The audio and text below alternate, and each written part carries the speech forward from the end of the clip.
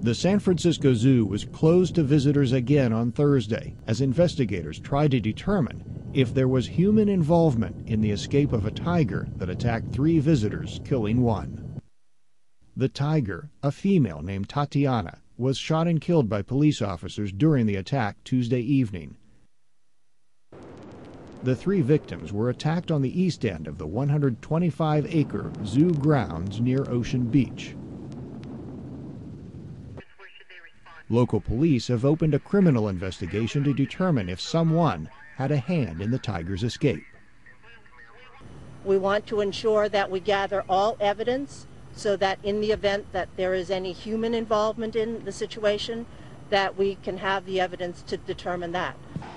The San Francisco Chronicle reports police are looking into the possibility that one of the victims may have climbed over a fence around the tiger enclosure and then dangled a leg or arm over the edge of the moat.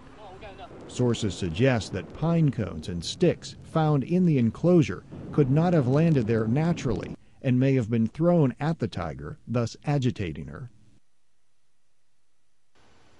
At the National Zoo in Washington, D.C., a zoo curator says the tiger's reaction is typical when large felines feel the need to protect their environment when you put their food in, they're going to be very protective of their food. That's, you know, you have your dogs and cats do the same thing um, at times. So again, it's what they would naturally do to protect their environment, their food, you know, their space. One San Francisco zoo official insisted the tiger did not get out through an open door and must have climbed or leaped out.